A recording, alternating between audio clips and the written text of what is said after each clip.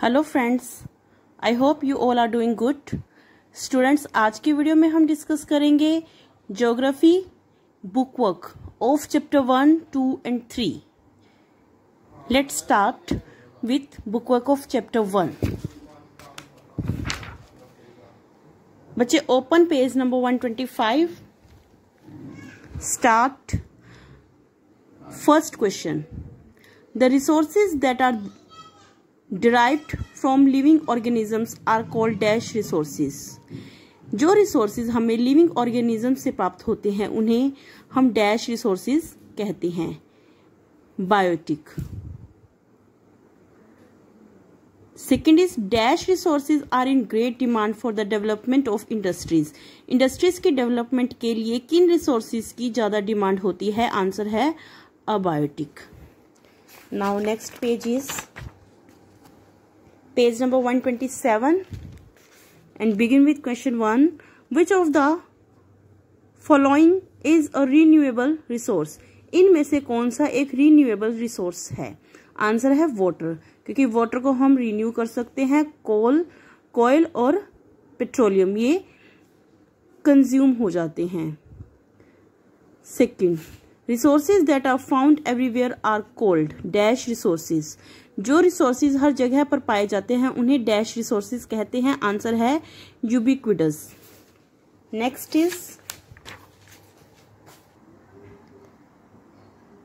now open page number 128 water is an example of dash resource water dash resource का example है। तो बच्चे water है natural resource का example second is this is an abiotic resource यह एक abiotic resource है। Answer है mineral Fill in the blanks. Air and land are dash resources, natural. Second, plants, animals and microorganisms are dash resources. Plants animals micro organism जो living things होती हैं वो biotic resources कहलाती हैं third is the resources that are distributed all over the earth are जो resources पूरे earth में distribute किए गए हैं उन्हें हम कहते हैं ubiquitous U B I Q U I T O U S ubiquitous. Question 4. The resources that have the capacity to renew, regenerate and reproduce are called Jin resources को हम रिन्यू कर सकते हैं रीजनरेट कर सकते हैं या फिर रिप्रोड्यूस कर सकते हैं जैसे कि पानी। पानी जब बारिश आती है तो फिर रिप्रोड्यूस हो जाता है। उन्हें हम डैश रिसोर्सेज कहते हैं। आंसर है renewable resources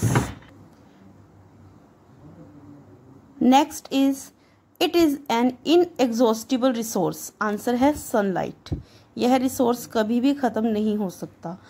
Second it is a human made resource यह एक ह्यूमन मेड रिसोर्स है. आंसर है टेक्नोलॉजी क्योंकि वाटरफॉल और मिनरल ऑयल ये नेचुरल रिसोर्स हैं और टेक्नोलॉजी मैन मेड रिसोर्स है. Students now open chapter two that is natural resources land soil and water open page number 132 question first is high altitude regions on the surface of the earth are called जो high altitude regions हैं earth के surface पर उन्हें हम कहते हैं mountains second raised tablelands are called plateaus जो raised tablelands होते हैं उन्हें हम प्लेट्यूज कहते हैं मतलब ज़मीन से ग्राउंड लेवल से उठी हुई ज़मीन को हम रेस्ड टेबल या फिर प्लेट्यूस कहते हैं। नाउ बच्चे, अब आपको पेज नंबर ओपन करना है 135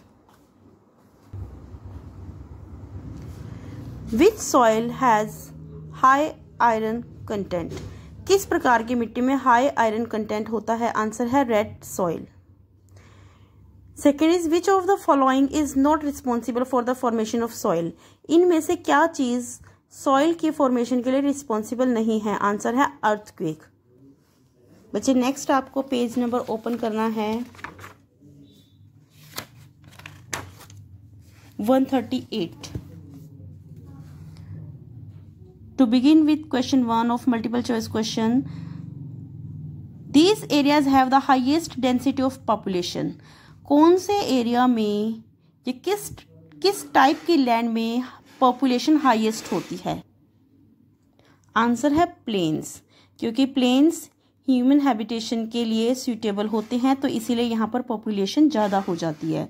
Second it is a top most layer of the earth earth की टॉप मोस्ट लेयर का नाम बताना है आंसर है top soil fill in the blanks the black soil is locally called black soil को locally हम कहते हैं regur dash are rows of trees and shrubs that check movement of wind answer है shelter belts third dash soil is most widespread in India answer है alluvial A double L U V I A L fourth question dash projects are called temples of modern India answer है multipurpose projects now true false about ninety percent of the world's population lives in only thirty percent of its land area true India uses more than fifty percent of its land for cultivation answer है true India more than fifty percent of its land use करता है cultivation के लिए agriculture के लिए third है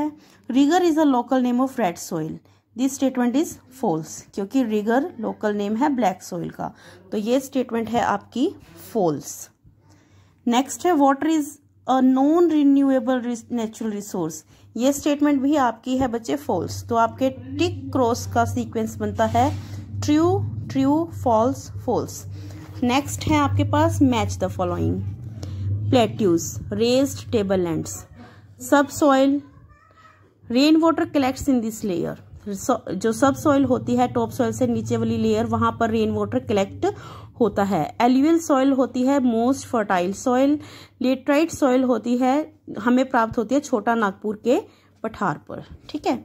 next है multiple choice question it is not a method of checking soil erosion यह मेथड सॉइल इरोजन को रोकने का नहीं है। आंसर है deforestation of the earth total water resources the fresh water available for use is earth पर जितना भी वाटर रिसोर्सेज है, उनमें से जो फ्रेश वाटर है, वो कितना अवेलेबल है? आंसर है one percent now students chapter two is completed now you will open chapter three that is natural resources natural vegetation and wild life here open page number one begin with question one tropical monsoon forest are found in this region answer है tropical. Tropical monsoon forest मिलेंगे tropical areas में। That is twenty three and half degree north और twenty three and half degree south के आसपास। Question two olive is an important tree of dash forest Mediterranean forest में olive हमें प्राप्त होता है। नेक्स्ट है बच्चे page number one forty four South America is the richest continent in terms of wild life emu and platypus are found in Australia next है आपके पास बच्चे।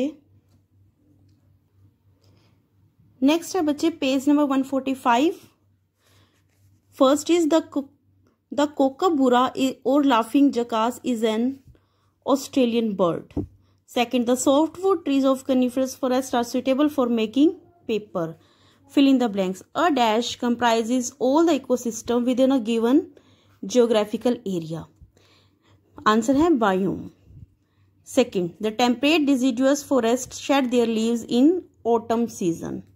Third, the grasslands are known as dash in South America South America में जो grasslands हैं उन्हें हम कहते हैं pampas and dash in North America और नॉर्थ अमेरिका में हम कहते हैं prairies P R A I R I E S prairies fourth tropical grasslands are termed as savanna now true false Mediterranean forest are very dense this statement is false वो dense नहीं होते. Mediterranean forest dense नहीं होते. Answer है आपका cross during monsoon the desert deserts receive very little rainfall monsoon में deserts में बहुत कम बारिश होती है. आंसर है false third prevent soil erosion and maintaining ground water level this statement is true CITES is an international body working for wildlife and forest conservation answer है true multiple choice question again first is emu is a flightless bird. Second the grassland in south Africa south America are cold south America में जो grass grasslands हैं, उन्हें हम कहते हैं veldts बच्चे, ये आपका चैप्टर थ्री का बुक वर्क है.